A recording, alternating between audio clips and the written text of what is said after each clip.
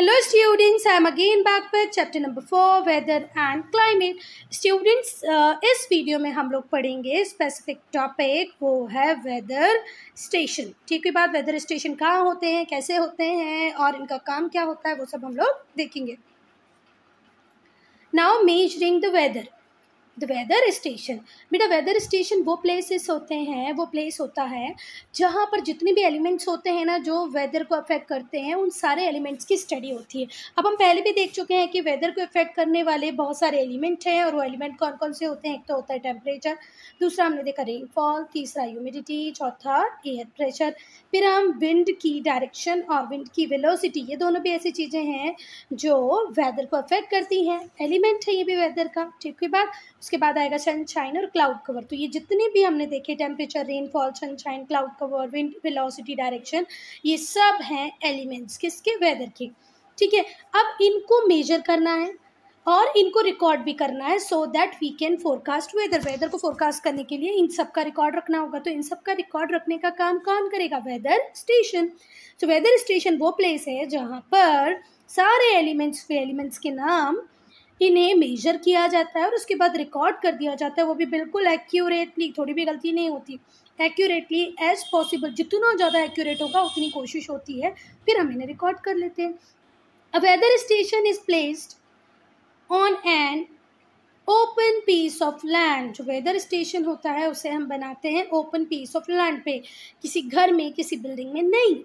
It contains the following instrument और इसमें कौन कौन से इंस्ट्रूमेंट होते हैं? आप देखो, बहुत सारे एलिमेंट्स हैं और हर एलिमेंट को मेजर करने के लिए अलग अलग इंस्ट्रूमेंट होगा।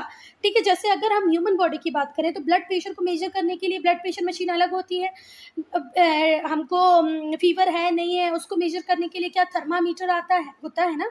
तो ऐसे ही वेदर के भी जितने भी एलिमेंट्स हैं, उनको मेजर करने के लिए हमें अलग अलग इंस्ट्रूमेंट की रिक्वायरमेंट होगी। तो पहला इंस्ट्रूमेंट कौन सा है? Thermometer ideally kept in Stevenson screen ये स्टीवन स्क्रीन का डायग्राम है, देखो। ये होती है स्टीवन स्क्रीन इसके अंदर थर्मामीटर को रखा जाता है। ठीक है बात? स्टीवेंशन स्क्रीन क्या है इसका नाम? स्टीवेंशन स्क्रीन फिर रेन गेज रेन गेज का काम क्या होता है? रेनफॉल को रिकॉर्ड करना। बैरोमीटर विंड बेन एनिमोमीटर और सनशाइन रिकॉर्ड तो कौन कौन से इंस्ट्रूमेंट हम देखेंगे बच्चा? थर्मामीटर जिसे किसमें रखा जाता है? स्टिवेंशन स्क्रीन में रखा जाता है।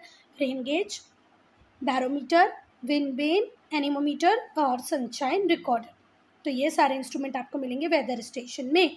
वेदर स्टेशन कहाँ पर होता है? ओपन एरिया में। बेटा, जितने भी वेदर इंस्ट्रूमेंट है, जिनका भी हम यूज़ करते हैं आइडियली आदर्श रूप में उन्हें कहाँ रखना चाहिए बच्चा? कि उन्हें गुड एक्सपोजर मिले। मतलब देखो आपको ओपन एरिया में वेदर स्टेशन बनाने का मतलब यही है ना कि जो भी इंस्ट्रूमेंट का हम यूज़ करेंगे, उसको ट्रू एटमॉस्फेरिक कंडीशन एनवायरमेंट का एक्सपोजर मिले तो उन्हें हमेशा हम किससे दूर रखते हैं? किसी बिल्डिंग से दूर रखते हैं फेंसेस से दूर रखते हैं ट्री से, और कोई भी ऐसा ऑब्स्टिकल जो उनकी रीडिंग को अफेक्ट कर सके, उस सबसे उसको दूर रखते हैं, इन्हें एक अच्छा एक्सपोजर देते हैं गुड एक्सपोजर देते हैं ओपन एरिया में। ठीक हुई बात? तो ना ही तो इस, किसी भी वेदर इंस्ट्रूमेंट को हम बिल्डिंग में रखेंगे, ना ही फेंसेस में, ना ही ट्रीज़ में और ना ही किसी दूसरे ऑब्स्टिकल के पास। और थोड़ी चीज़ें ध्यान में रखनी चाहिए, पड़ेगी आपको। Few things to kept in mind while setting up weather station weather station बनाने के पहले हमें कुछ और चीज़ें भी हैं जिनका ध्यान रखना पड़ेगा। वो ये हैं कि थर्मामेंट को थर्मामीटर को हमेशा शेड में प्लेस किया जाए। कहाँ पर? शेड में। Ideally they they should be in Stevenson screen वैसे तो इसे स्टेवेंशन स्क्रीन में स्क्रीन में रखा जाना चाहिए और स्लेटेड बॉक्स में रखा जाना चाहिए। पर चलो, किसी वजह से ये अवेलेबल नहीं है तो उसे किसमें रखना चाहिए आपको? शेड में। If this is not available they could be hung on the shaded wall और फेंस पर सपोज़ करो कि अगर आपके पास स्टेवेंशन स्क्रीन अवेलेबल नहीं है स्टेवेंशन स्क्रीन मैंने आपको दिखाई। स्लेटेड बॉक्स अवेलेबल नहीं है तो आप क्या करोगे? आप इसको किसी भी दीवार पर टांग दोगे, पर शेड होना चाहिए, ठीक है बात? Next rain gauge rain gauge को हमेशा किसी भी दीवार से, किसी भी फेंस से बुशेस से दूर रखना चाहिए। क्यों दूर रखना चाहिए? क्योंकि बारिश का पानी इस तरीके से जो आ रहा है, ऊपर से हमको उसको मेजर करना हो सकता है। आप दीवार के पास रख दो तो दीवार का सारा पानी इसमें आ जाए और फिर आपकी रीडिंग जो हो वो इम्प्रॉपर आए। तो आपको जो रेन गेज है, उसे भी वॉल से दूर रखना है फेंस से दूर रखना है बुशेस से दूर रखना है। और क्यों दूर रखना है? They affect the amount of rain caught in rain gauge rain gauge में जो अमाउंट रेन का इकट्ठा होने वाला हो सकता है, या तो ज़्यादा हो जाए, या जैसे आपने यहाँ डब्बा रख दिया और यहाँ पर बुशेस हैं। तो इन बुशेस की वजह से इसमें जो रेन गेज में जो पानी इकट्ठा होना चाहिए था, वो हुआ ही नहीं, क्योंकि जो बुशेस थी, उन्होंने उसको रोक दिया। तो ना ही तो आपको बुशेस के पास रखना है, ना वॉल के पास रखना है, आपको इसको ओपन एरिया में रखना है, किसको? रेन गेज को। तभी पानी जितना गिर रहा है, जो मेजर करने के लिए चाहिए, वो प्रॉपर अब हम देखेंगे विन इंस्ट्रूमेंट्स को। ठीक है, बात तो जो विन इंस्ट्रूमेंट है, उनको भी इस तरीके से आप प्लेस करें बेटा कि कोई दीवार, कोई फेंसिंग कोई घर हवा के रास्ते को ना रोके, क्योंकि अगर हवा रुक कर आएगी तो उसकी स्पीड कम हो जाएगी तो आप स्पीड उसकी प्रॉपर नहीं रीड कर पाओगे, ठीक है? तो जो रीडिंग होगी वो बदल जाएगी। एडीज का मतलब होता है बच्चा हवा का सर्कुलर मोशन में घूमने लग जाना। तो कोई घर होगा, कोई फेंसिंग होगी तो हवा रोटेट करने लग जाएगी मूव करने लग जाएगी तो आपकी रीडिंग स्पॉइल हो जाएगी। इसीलिए इसको ओपन एरिया में प्रॉपरली प्लेस करना चाहिए। फिर आपको रीडिंग लेते टाइम बहुत ज़्यादा ध्यान देना चाहिए कि जो रीडिंग का जो टाइम हो वो फिक्स हो। ऐसा नहीं कि आज दो बजे ले ली, कल तीन बजे, फिर चार बजे। हमेशा आपको चार बजे ही रीडिंग लेनी है, दिन के चार बजे। रोज, उसी निश्चित टाइम पे। फिर बच्चा ये जो इंस्ट्रूमेंट है, ये स्टेवन स्क्रीन है। ये ज़मीन से 120 सेंटीमीटर की हाइट पे इसको इंटेंशनली रखा गया है स्टेवेंशन स्क्रीन को, इस बॉक्स को जिसको हम स्टेवेंशन स्क्रीन कहते हैं, जिससे जो अर्थ से जो रेडिएशन वापस निकलेगी, वो इस बॉक्स को गर्म ना कर सके। देखो, इसको पर्पसली वाइट कलर से कलर किया गया है, जिससे ये हीट को अब्जॉर्व ना करे। ऊपर जो इस बॉक्स है, इसको डबल लेयर में बनाया गया है, जिससे जो सन की हीट है, वो डायरेक्टली इस बॉक्स को गर्म ना करे। और देखो, ये जालियाँ आपको दिख रही हैं, इससे हवा इजीली अंदर आ जा सकती है। जो स्टेवेंशन स्क्रीन है, ये एक वुडन बॉक्स होता है, जो फोर लैक्स के ऊपर खड़ा हुआ है, जिनकी हाइट है वन ट्वेंटी सेंटीमीटर जो स्क्रीन होती है, उसको इस तरीके से बिल्ड किया गया है कि वो शेड टेम्परेचर ले एयर का। ठीक है, बात। हमें एयर का शेड टेम्परेचर लेना है। जो साइड्स हैं बॉक्स की वो स्लेटेड है, जिससे हवा इजीली अंदर आ रही है, मैंने आपको दिखाया। जो रूफ है, वो डबल बॉडिंग से बना हुआ है, जिससे कि जो सन की जो हीट है, वो अंदर नहीं पहुँचती और स्क्रीन पे इफ़ेक्ट नहीं डालती। ठीक है, बात। जो रूफ है, उसे हमने डबल बॉडिंग से बनाया है to prevent the sun heat from reaching inside the screen screen तक सन की हीट ना पहुँच पाए। Insulation is further improved insulation को और इम्प्रूव करने के लिए हमने की हीट बिल्कुल अब्जॉर्व ना हो। हमने आउटसाइड से इसको कलर किया है वाइट से। ठीक है बात जिससे कि ज़्यादा से ज़्यादा सोलर एनर्जी को रिफ्लेक्ट कर दे। जो स्क्रीन है, उसे यूजुअली प्लेस किया जाता है। होना ग्रास कवर्ड एरिया कहाँ पर ग्रास कवर्ड एरिया जिस एरिया में घास लगी हो ना वहीं इसको में आ, क्या किया जाता है? प्लेस किया जाता है। देखो जो ज़मीन जिसके ऊपर घास वगैरह नहीं लगी होगी वो जल्दी गर्म हो जाएगी। इसीलिए हम किसके ऊपर रखते हैं? इसको घास वाली ज़मीन के ऊपर रखते हैं। There by reducing the radiation of heat from the ground जिससे जो ग्राउंड है उससे जो हीट रेडिएट करेगी। आप कभी नंगे पैर चले हैं ज़मीन के ऊपर? जब भी नंगे पैर जब हम ज़मीन के ऊपर चलते हैं तो हमारे पैर जलने लगते हैं ना? हम चल नहीं पाते हैं। वो हमारे लिए बिल्कुल इनटॉलरेबल होता है, वो क्यों होता है? क्योंकि बहुत ज़्यादा गर्म हो गया। वहीं पर हम घास पे थोड़ा सा चल पाएँगे। तो घास पे रखने की वजह ये है कि जो रेडिएशन है, उसको हम थोड़ा सा रोक पाएँ, जो हीट से आने वाली, वो अर्थ से आने वाली। अब ये हमारे स्टेवेंशन स्क्रीन मतलब और ये है सिलेंडर इसके अंदर मेजरिंग सिलेंडर है। फिर ये है रेन गेज ये है सिक्स थर्मोमीटर ये है wind vane wind vane rain gauge six thermometer measuring cylinder Stevenson screen अब बेटा क्या क्या रखा गया है इस स्टेवेंशन स्क्रीन के अंदर? तो इस स्टेवेंशन स्क्रीन के अंदर आपको मिलेगा maximum minimum thermometer maximum thermometer minimum thermometer wet and dry bulb thermometer जिसे हम हाइग्रोमीटर भी कहते हैं, जो ह्यूमिडिटी को मेजर करने के काम में आता है। ह्यूमिडिटी को मेजर करने के लिए रिलेटिव ह्यूमिडिटी को मेजर करने के लिए कौन सा इंस्ट्रूमेंट है? Hygrometer wet and dry bulb thermometer, maximum minimum thermometer भी इसके अंदर रखा जाता है। ठीक, कोई बात? तो स्टेवेंशन स्क्रीन के अंदर आप क्या क्या रखोगे बच्चा? Dry bulb wet bulb thermometer, maximum minimum thermometer and hygrometer. ठीक, कोई बात? किसको ही बोलते हैं? इसी को हाइग्रोमीटर कहते हैं। Wet and dry bulb instrument को।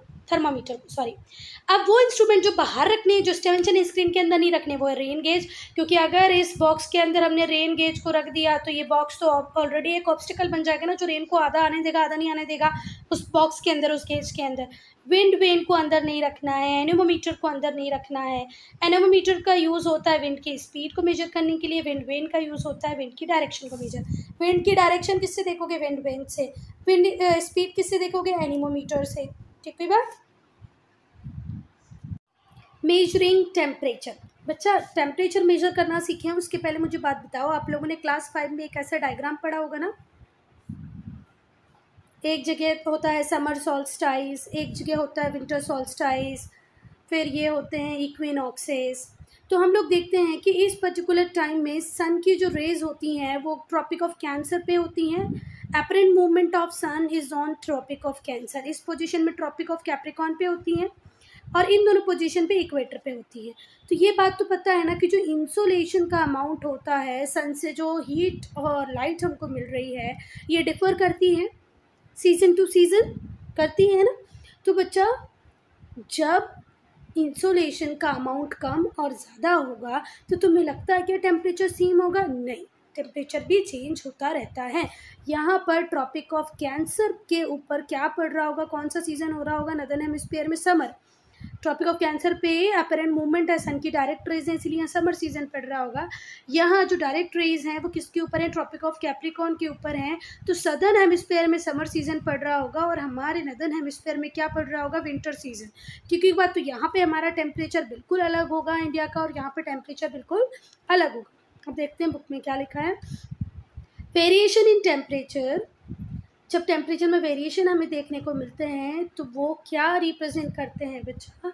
Responses to differences in insolation insolation में जो डिफरेंसेस आ रहे हैं, उसको रिप्रेजेंट करते हैं वेरिएशन इन टेम्परेचर और दूसरे शब्दों में कहें तो energy receive from sun at different times यहाँ पर जो सन की एनर्जी हमें मिल रही थी, वो बहुत ज़्यादा थी। यहाँ पर कम थी यहाँ पर ठीक थी। ठीक है बात तो यहाँ पर बहुत ज़्यादा, यहाँ पर कम, यहाँ ठीक ठाक। तो ये जो डिफरेंट अमाउंट है एनर्जी रिसीव करने का, किसका? अर्थ का। इसी से क्या आते हैं बच्चा? टेम्परेचर में वेरिएशन यहाँ पे टेम्परेचर हमारा बहुत ज़्यादा होगा इंडिया का टेम्परेचर यहाँ बहुत ज़्यादा होगा, यहाँ इंडिया का टेम्परेचर कम जाएगा। जो मेट्रोलि मेट्रोलॉजिस्ट होते हैं, ये मेजर करते हैं शेड डिफरेंट शेड टेम्परेचर को, ठीक है बात मेट्रोलॉजिस्ट मेजर करते हैं शेड टेम्परेचर को। हमने भी पढ़ा ना, एक बॉक्स के अंदर हम थर्मामीटर रखते हैं, ये वन ट्वेंटी सेंटीमीटर की ऊंचाई पे एक बॉक्स को स्टीवन स्क्रीन को प्लेस किया जाता है, उसके अंदर हम टेम्परेचर को मेजर करते हैं मतलब शेड टेम्परेचर को मेजर करते हैं। स्टेवेंशन स्केल एक वीडियो में मैंने पूरा समझाया है बेटा, है ना, ध्यान से। This is less variable than air temperature which is affected by cloud cover तो ये जो शेयर टेम्परेचर होता है, इसमें वेरिएबल कम होते हैं बच्चा। ठीक है, कौन से टेम्परेचर से? एयर टेम्परेचर से, जो क्लाउड कवर से भी इफ़ेक्ट होगा डायरेक्ट इंसुलेशन से भी अफेक्ट करेगा। है बात, अगर हम ओपन एरियाज़ से अगर टेम्परेचर लेने लगे without Stevenson scale without screen without shade temperature तो टेम्परेचर कभी भी हम प्रॉपर रिकॉर्ड नहीं कर पाएँगे क्योंकि इसको अफेक्ट करेगा क्लाउड कवर इसको अफेक्ट करेगा direct insolation temperature is measured using a thermometer thermometer का यूज़ करके हम टेम्परेचर को मेजर करते हैं. Continuous temperature reading is given by thermograph और थर्मोग्राफ वो इंस्ट्रूमेंट है जो हमें कंटिन्यू क्या देता है?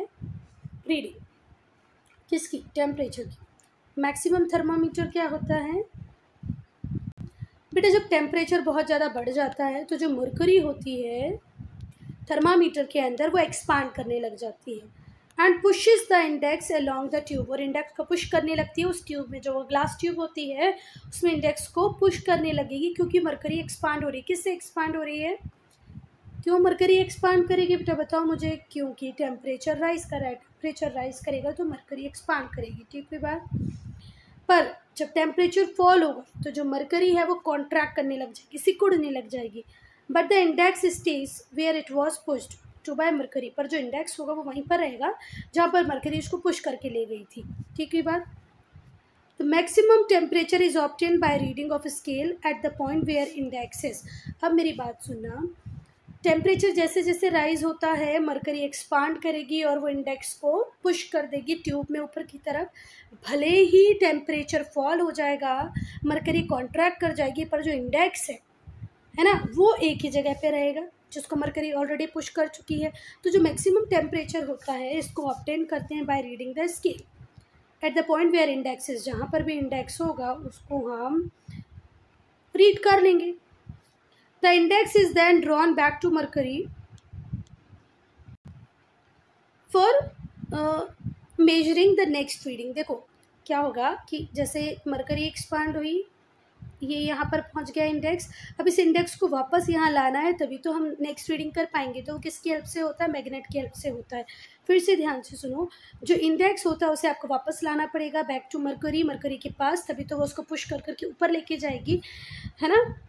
तो the index is then drawn back to the mercury by magnet किससे वापस लेके आते हैं हम? उसको मैग्नेट से. For measuring the next reading next reading को मेजर करना है तो भैया मरकरी के पास तो आपको इंडेक्स को लाना ही पड़ेगा. मिनिमम बैरोमीटर क्या होता है? चलो, अब हम मिनिमम थर्मोमीटर को देखेंगे. मिनिमम थर्मामीटर जब टेम्परेचर गिरता है तो जो एल्कोहल होती है, वो कॉन्ट्रैक्ट करने लग जाती है, सिकुड़ने लग जाती है. And its meniscus pulls the index along the tube और मिनिस्कस मतलब ये होता है, देखो मिनिस्कस भी इसको कहते हैं मिनिस्कस या तो ये इस तरीके से बनेगा या इस तरीके से बनेगा? तो जब अल्कोहल कॉन्ट्रैक्ट करती है तो इसका जो मिनिस्कस है, वो पुल्स द इंडेक्स इंडेक्स को पुल करके वो नीचे ले आएगा। ठीक है बात? वेन द टेम्परेचर राइजेस पर टेम्परेचर जैसे जैसे बढ़ेगा द एल्कोहल एक्सपांड होगी एल्कोहल एक्सपांड होने लग जाएगी। It is read in the same way as the maximum thermometer देखो अल्कोहल तो क्या करने लग जाएगी एक्सपांड करने लग जाएगी, पर जो इंडेक्स है वो अपनी प्लेस पर ही रहेगा, फिर हम उसको रीड कर लेंगे। किसी तरीके से जैसे हम मैक्सिमम थर्मामीटर को करते हैं तो किसी किसी थर्मामीटर में मरकरी का भी यूज़ होता है, जो टेम्परेचर के साथ एक्सपांड करती है और कॉन्ट्रैक्ट करती है तो टेम्परेचर कम होता है। वैसे ही एल्कोहल का नेचर है कि टेम्परेचर गिरेगा तो एल्कोहल कॉन्ट्रैक्ट करेगी, ठीक हुई बात, और अपने साथ इंडेक्स को भी पुल करके ले आएगी, ठीक हुई बात, उस ट्यूब में। पर जब टेम्परेचर बढ़ेगा तो एल्कोहल तो एक्सपांड होगी, पर जो हमारा इंडेक्स है वो वहीं रहेगा और उसके थ्रू आप रीडिंग ले सकते हो। A six thermometer refer to the figure shown above. देख सिक्स थर्मामीटर देखना है। ये है सिक्स थर्मोमीटर ठीक है, बात?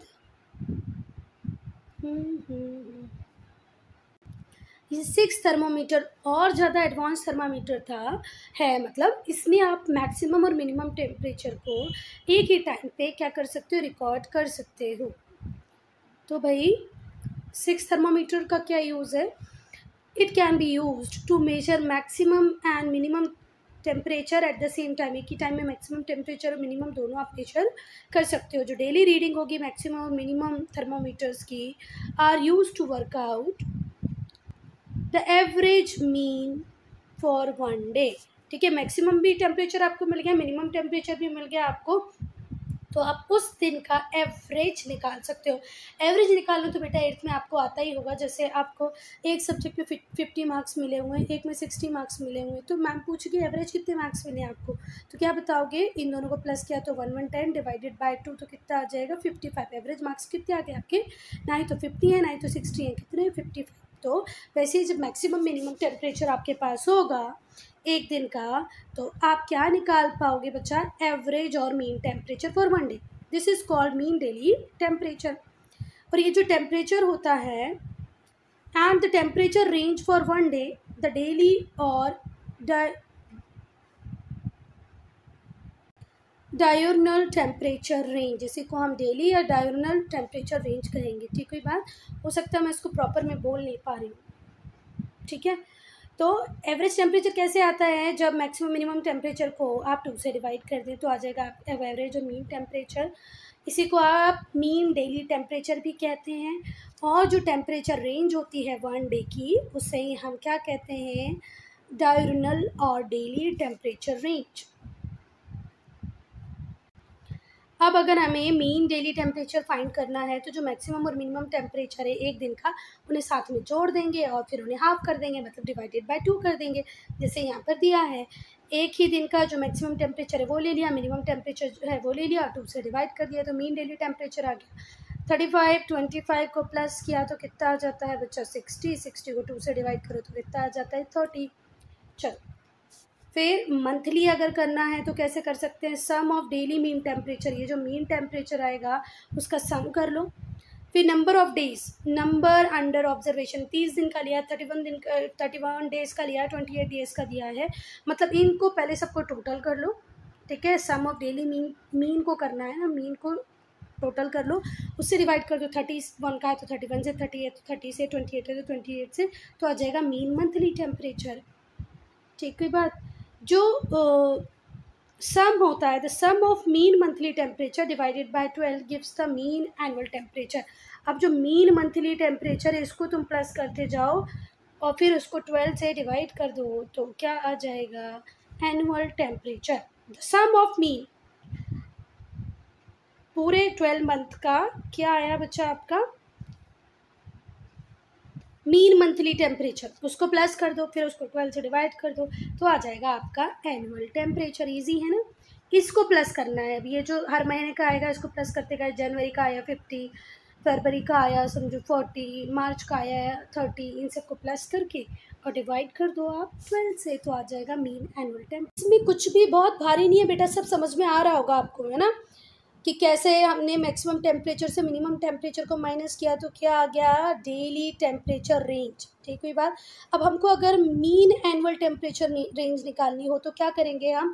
मंथली टेम्परेचर को लेंगे और मंथली टेम्परेचर में एक टेम्परेचर कौन सा लेंगे? Highest mean highest mean monthly temperature लिया, दूसरा कौन सा ले लिया? Lowest mean monthly temperature highest mean monthly temperature में से लोएस्ट मीन मंथली टेम्परेचर को माइनस कर दोगे तो क्या आ जाएगा? एनुअल टेम्परेचर रेंज अब हम बात करेंगे एग्ज़ाम्पल देखते हैं। अगर हम ला, लागोस की बात करें लेगोस की बात करें तो यहाँ पर मीन मैक्सिमम टेम्परेचर इतना है twenty seven point five mean minimum temperature कितना है ट्वेंटी फोर पॉइंट फाइव तो इनका रेंज कितना आ जाएगा? बच्चा इसमें से माइनस किया।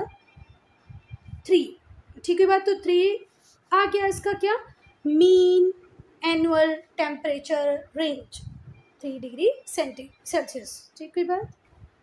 अब हम रेनफॉल को मेजर करेंगे तो बच्चा रेनफॉल को मेजर किस इंस्ट्रूमेंट से करते हैं? रेन गेज कोई बात किसे करते हैं? रेन गेज से करते हैं। ठीक है तो रेन गेज का यूज़ करोगे आप तो रेन गेज के साथ क्या क्या आता है? एक सिलेंडर आता है, उसी में होता है collecting can containing a glass और प्लास्टिक जार ठीक है बात? कलेक्टिंग केन आएगी कंटेनिंग अ ग्लास और अ प्लास्टिक जार ठीक है बात? अब जो ग्लास जार भी हो सकता है प्लास्टिक जार भी हो सकता है तो वो चिंता की बात नहीं, कोई भी ग्लास आपको मिल जाए, पानी इकट्ठा करना है। And a funnel that fits in the top of container और एक फनल आएगी जो आप कंटेनर के टॉप में फिट कर देंगे। ठीक हुई बात तो जो रेन गेज है, उस, उससे हम रेनफॉल को मेजर करते हैं। एट कंसिस्ट इसमें क्या क्या आता है, एक सिलेंडर आता है, जिसके अंदर एक कलेक्टिंग केन आएगा कंटेनिंग अ ग्लास और प्लास्टिक जार फिर फनल आएगी, जो फनल है वो, उसके कंटेनर के टॉप में फिट हो जाएगी। जो गेज है, उसको ओपन स्पेस में हम लोग रखते हैं।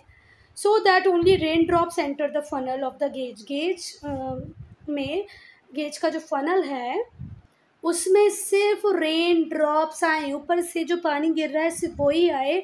ना कि के tree run off building run off wall run off सब जो यहाँ पर बारिश हो रही है। ठीक है, आपने रेन गेज रखा है यहाँ पर। और यहीं पर एक पेड़ था। तो पेड़ का भी सारा पानी इसी में आ रहा था। तो क्या आप प्रॉपर रेनफॉल को मेजर कर पाओगे? नहीं कर पाओगे। तो आपको ध्यान रखना है कि जो गेज है, आप उसको ओपन स्पेस में प्लेस करें। So that only rain drops enter the funnel funnel में सिर्फ़ क्या एंटर हो पाए रेन ड्रॉप्स ठीक है? जो गेज का फनल है, उसमें सिर्फ़ रेन ड्रॉप इकट्ठा हो, ना कि के run off from trees building और अदर ऑब्जेक्ट ठीक है? Can get in to the funnel funnel में वो सारा पानी नहीं जाए जो बिल्डिंग से इकट्ठा हो रहा है, या तो किसी पेड़ से आ रहा है, सिर्फ़ गिरता हुआ पानी इकट्ठा हो। जो गेज है the gauge is sunk in to the ground so that the top of the funnel is about thirty centimeter above the ground level अब हम पढ़े उसके पहले यहाँ पर देख लो तो आपको पिक्चर क्लियर हो जाएगा। ये ग्राउंड है ग्राउंड में हमने इस रेन गेज को फिट किया हुआ है, बच्चा, पर ग्राउंड से कितना ऊपर है? थर्टी सेंटीमीटर हमने ऊपर रखा है कि कहीं पे, अगर देखो, जैसे ये ग्राउंड होता और मैं गेज को इस तरीके से रख देती, पानी यहाँ भरता जाता भरता जाता भरता जाता और फिर ये वाला जो पानी है वो हमारे गेज में जाने लगता है। इसीलिए हमने इसको कितना ऊपर कर दिया, इतना ऊपर कर दिया कि पानी का लेवल इस यहाँ तक तो पहुँच ही नहीं पाएगा किसी भी नॉर्मल कंडीशन में। नॉर्मल कंडीशन में। बाकी तो अगर भगवान भरोसे तो देखो, जो रेन गेज है, उसको हमने ग्राउंड के अंदर रखा है, पर जो उसका जो मुँह होगा, जो फनल होगा वो थर्टी सेंटीमीटर की ऊंचाई पे होगा देखो, ये रेन गेज है, यहाँ पर फनल है। ठीक है बात? और ये कंटेनर है, ये कैन है उसके अंदर। ये कैन प्लास्टिक का भी हो सकता है है ना? और ये है जार कितनी चीज़ें पहले तो एक ये छुटकू सी बॉटल हो गई जिसको हम बोल रहे हैं जार। फिर है केन केन के ऊपर है आपका ये कंटेनर कंटेनर के ऊपर आपने क्या रखी? फनल चलो, और फन जो गेज है उसको इस तरीके से प्लेस किया गया है कि उसका जो अपर पार्ट है, वो लैंड एरिया से थर्टी सेंटीमीटर की ऊंचाई पर हो। तो जो गेज होता है, उसको तो हम शंक कर देते हैं ग्राउंड में, पर जो उसका टॉप होता है फनल का, वो थर्टी सेंटीमीटर ग्राउंड लेवल से ऊपर होता है। ये इसलिए किया जाता है कि जो सन की हीट है, उससे कोई एवोपरेशन ना हो पाए, जो पानी हमने इकट्ठा करके रखा है, वो सन की हीट एवोपरेट ना करे मतलब वो वाटर पेपर बन के उड़ ना जाए। और दूसरी बात जो कलेक्टेड वाटर है, वो एवोपरेट ना हो। पहला पर्पज़ तो ये हो गया और दूसरा पर्पज़ तीस सेंटीमीटर ऊपर लगाने का ये भी है कि हम इंश्योर कर पाएँ कि कोई भी rain splashes up from the ground into the funnel कोई भी जो बारिश का पानी है स्प्लैशेस है रेन स्प्लैशेस हैं, वो भी हमारे गेज के अंदर नहीं जा पाए तो पहला तीस सेंटीमीटर ऊपर लगाने का पर्पस ये है कि सन की हीट से कोई एवोपरेशन ना हो पाए, हमने जो पानी इकट्ठा किया वो सेव रहे। और दूसरा, कोई रेन स्प्लेशेस भी हमारी फनल में ना आए, जिससे कि अननेसेसरी जितनी बारिश हुई है, उससे ज़्यादा पानी इकट्ठा उसमें गेज में हो जाए। तो मेज़रमेंट में प्रॉब्लम आएगी रीडिंग प्रॉपर नहीं आएगी।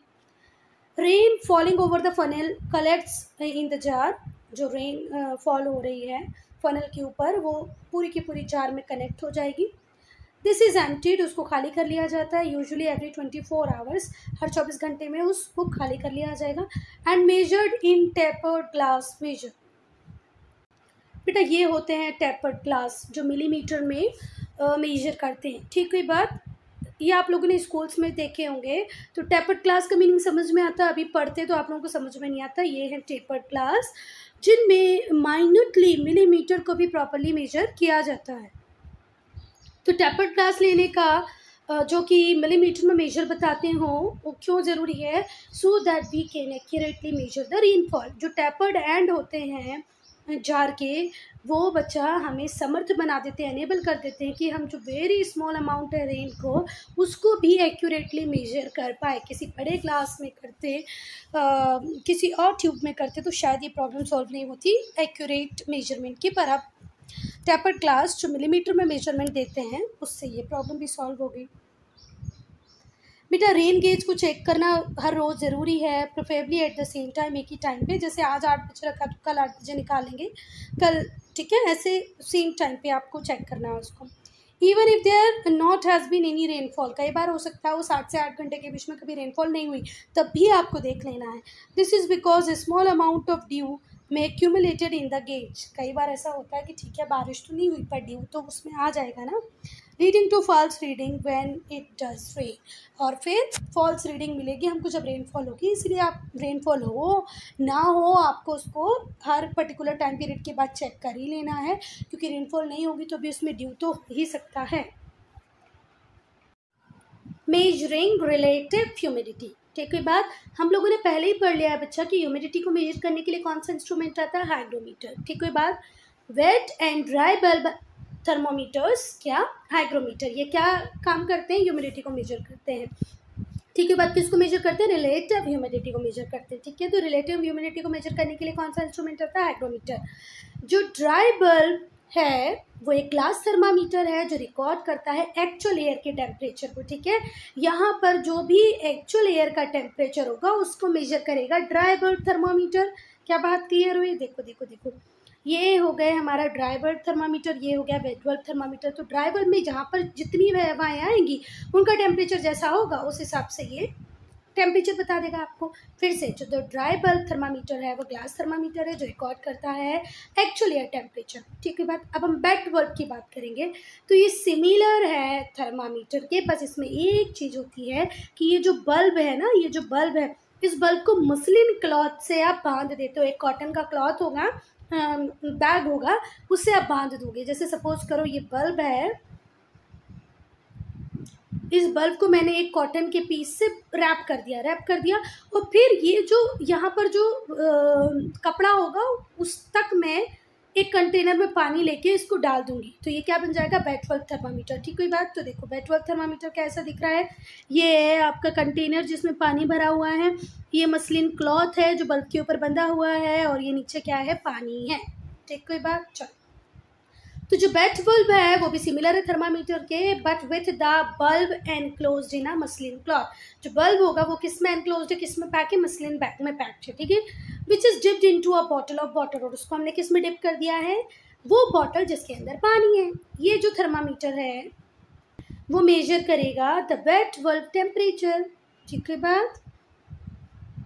अब ये वेट थर्मोमीटर वेट वर्ल्ड थर्मोमीटर हमें रिलेटिव ह्यूमिडिटी दिखाएगा, जो कि क्लोज होगी हंड्रेड परसेंट तक and is generally lower than dry bulb temperature dry bulb temperature से हमेशा जो वेट बल्ब टेम्परेचर है वेट बल्ब थर्मोमीटर है, उसका टेम्परेचर कम होता है। तो बेटा, पहली बात तो याद रखोगे कि dry bulb temperature dry bulb thermometer का टेम्परेचर ज़्यादा होगा कि वेट बल्ब का तो ऑब्वियसली बात है ड्राई बल्ब का टेम्परेचर हमेशा ज़्यादा होगा, ठीक हुई बात? और वेट बल्ब का कम होगा, ठीक हुई बात? दूसरी बात, ये जो वेट बल्ब है, ये हमें रिलेटिव ह्यूमिडिटी दिखाता है इस क्लोज टू हंड्रेड परसेंट देखो, यहाँ पर भी दिखाया है, ये जो ड्राई बल्ब थर्मामीटर है। उसकी देखो रीडिंग कितनी आ रही है? ट्वेंटी सेवन और यहाँ पर वेट बल्ब की कितनी आ रही है? अप्रॉक्सीमेटली फिफ्टीन डिफरेंस है ना? अब एक बात और समझने की कोशिश करना। इस ड्राई बल्ब ने, इस वेट बल्ब थर्मामीटर में वो हवाएँ जब आके लगेंगी, जिनमें ऑलरेडी वाटर कंटेंट बहुत ज़्यादा है तो ये एवोपरेशन के रेट को कम कर देंगी। ठीक हुई बात? जितनी ये हवाएँ सूखी होंगी, उतना ही ये एवोपरेशन के रेट को बढ़ा देंगी और टेम्परेचर बड़ा मिलेगा। मतलब जितनी ज़्यादा हवा में ऑलरेडी मॉइस्चर होगा, हवा में अगर ऑलरेडी मॉइस्चर होगा तो यहाँ पर रीडिंग कम आएगी। बेटा, मैं फिर भी चाहूँगी, मुझे खुद पता है कि ये प्रॉपरली एक्सप्लेन नहीं हुआ है तो एक कोई डेडिकेटेड वीडियो देख लेना, तुम किस पे हाइग्रोमीटर पे dry bulb wet bulb thermometer पे तो हो सकता है तुम लोगों को समझ में आ जाए। ठीक कोई बात? चलो सच में देख ही लेना। अब हम देखेंगे air pressure and wind speed wind direction air pressure wind speed और डायरेक्शन इन चीज़ों को देखेंगे। क्योंकि एयर का वेट होता है, हम सबको पता है एयर हैज़ वेट बचपन में हम एक प्रैक्टिकल करते थे ना, एक खाली बलून को मेजर करना, एक इन्फ्लेटेड बलून को जिसमें हवा भरी हो, उसको मेजर करना, दोनों के वेट में डिफरेंस आएगा। तो हमको पता है कि एयर का वेट होता है। ये प्रेशर भी एग्जर्ट करती है, किसके ऊपर अर्थ सरफेस के ऊपर, ये भी हम पढ़ चुके हैं, है ना? जो एयर है, वो बहुत ज़्यादा प्रेशर एग्जर्ट करती है किसके ऊपर? अर्थ के ऊपर। At the sea level the pressure is one point zero three kilogram ठीक हुई बात? पर सेंटीमीटर स्क्वायर और seven sixty M M in twenty nine point nine two inches ठीक हुई बात? बेटा, पहले भी हम लोग डिस्कस कर चुके हैं फिर से कि ये अर्थ है तो अर्थ के ऊपर सिक्सटीन हंड्रेड किलोमीटर तक जो एटमॉस्फेयर है, नीचे की जो लेयर्स होती हैं, उसमें मैक्सिमम एयर का कॉन्सेंट्रेशन होता है तो ये बच्चा कुछ ना कुछ प्रेशर तो एग्जर्ट करती रहती है ना अर्थ के ऊपर।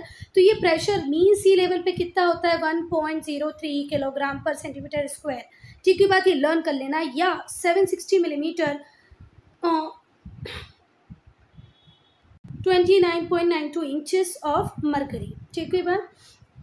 जो प्रेशर है वो वेरी करेगा विथ टेम्परेचर एंड एल्टीट्यूड जैसे जैसे टेम्परेचर बढ़ेगा प्रेशर कम होता जाएगा। पहले हम पढ़ चुके हैं। इन्वर्स रिलेशन होता है टेम्परेचर में। टेम्परेचर जैसे जैसे बढ़ता है, जो एयर का प्रेशर है, वो कम होता जाता है। क्यों कम होता जाता है? क्योंकि गर्म हवाएँ ऊपर की तरफ़ जाती जाती हैं टेम्परेचर के गर्म होने से और यहाँ पर अर्थ को बना देती हैं हल्का। ठीक है बात? तो प्रेशर वेरी करेगा टेम्परेचर और एल्टीट्यूड के साथ। अब मेरी बात सुनो, जैसे कि यहाँ पर एक। यहाँ पर जो एयर का जो प्रेशर होगा बेटा ये इतनी एयर लग रही है इस पर्टिकुलर पॉइंट पे। यहाँ पर इतनी एयर लग रही है इस पर्टिकुलर टाइम पे तो ये तो कोई गधा बच्चा भी बता देगा कि प्रेशर यहाँ ज़्यादा होगा कि यहाँ ज़्यादा होगा। मुझे बताओ प्रेशर यहाँ ज़्यादा होगा ना? देखो, यहाँ पर कितनी सारी एयर ऊपर से नीचे तक प्रेशर लगा रही है, पर यहाँ पे सिर्फ़ इतने से एरिया का प्रेशर लग रहा है। हवा का तो ऑब्वियसली बात है कि जितना एल्टीट्यूड पे आप, जैसे यहाँ की बात करें तो यहाँ तो और एयर प्रेशर कम हो जाएगा। क्यों कम हो जाएगा? क्योंकि इतनी सी हवाएँ हैं जो इस ज़मीन के ऊपर प्रेशर लगा रही हैं। यहाँ देखो, कितनी सारी हवाएँ प्रेशर लगा रही हैं और यहाँ एक तो सी हवाएँ। तो बात समझ में आई? आई होगी। ठीक कोई बात? चलो। तो तो तो एल्टीट्यूड के अकॉर्डिंग और टेम्परेचर के अकॉर्डिंग टेम्परेचर के अकॉर्डिंग कैसे देखो? जितनी ज़्यादा गर्मी होगी, हवाएँ गर्म होगी, ऊपर चली जाएँगी तो जो वज़न उनका अर्थ के ऊपर लग रहा था, वो लगना बंद हो जाएगा। तो टेम्परेचर के साथ प्रेशर कम हो जाता है एल्टीट्यूड के साथ भी प्रेशर कम हो जाता है। क्यों? जितनी ऊंचाई पर जाओगे, उतना एयर का प्रेशर कम होगा। ये मैंने डायग्राम से बता दिया आपको। And there instrument that measures the pressure वो इंस्ट्रूमेंट जो प्रेशर को मेजर करता है, उसका नाम है बैरोमीटर एयर प्रेशर को हम यूजली मिली बार में मेजर करते हैं. एयर प्रेशर किसमें मेजर होता है? मिली बार में. टू टाइप के बैरोमीटर होते हैं, एक होता है मरकरी बैरोमीटर और एक एनेरॉइड एंड्रॉयड नहीं है बच्चा, नहीं तो मोबाइल का एंड्रॉयड समझ लो। मरकरी एंड एनिरॉयड बैरोमीटर ये दो टाइप के बैरोमीटर आते हैं। तो पहली बात एयर प्रेशर किसमें मेजर करते हैं? बैरोमीटर में। सी लेवल पे कितना एयर प्रेशर होता है? तो वन पॉइंट ज़ीरो थ्री के जी पर सेंटीमीटर स्क्वायर कौन से दो टाइप के बैरोमीटर होते हैं? तो मरकरी और एनिरॉयड अब मो टू नो सेक्शन भी डिड यू नो सेक्शन दे देते हैं। जो हाइड्रोग्राफ होता है, ये सेल्फ रिकॉर्डिंग इंस्ट्रूमेंट है, जो कॉन्स्टेंटली कंटिन्यू रिकॉर्ड करता रहता है रिलेटिव ह्यूमिडिटी को, हवा में कितनी ह्यूमिडिटी है उसको।